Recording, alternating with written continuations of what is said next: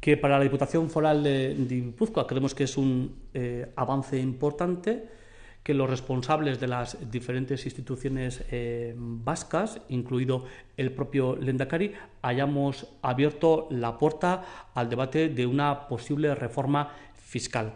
Y hay una coincidencia por parte de todos los representantes eh, públicos en que es necesario contar con más ingresos para que podamos seguir invirtiendo en más actividad económica y generar nuevo y mejor empleo, para así además garantizar también el sistema de protección social. Este sistema de protección social que tenemos bueno, garantista y que apueste también por su sostenibilidad a futuro.